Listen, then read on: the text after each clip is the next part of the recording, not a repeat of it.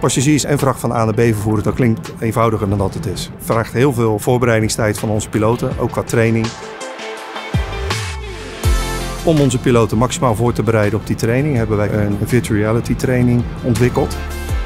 De Virtual Cockpit is een volledige digitale tweeling van de daadwerkelijke cockpit.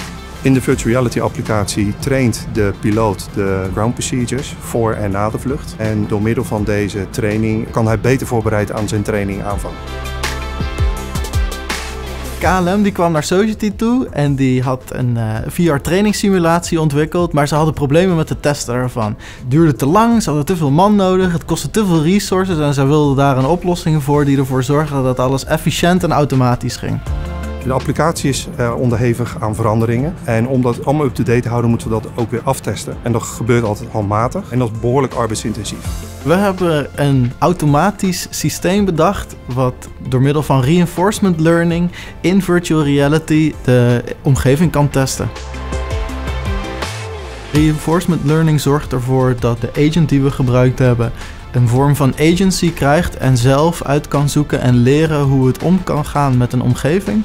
Waardoor het dus ook zelf leert hoe het knopjes kan omschakelen of beweegt in een uh, virtual reality omgeving.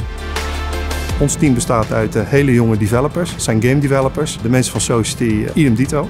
Dus dat smolt heel mooi samen, sprak elkaar staal. Nou, dat was dermate succesvol dat we besloten hebben voor alle toekomstige cockpit applicaties deze ML agent in te gaan zetten.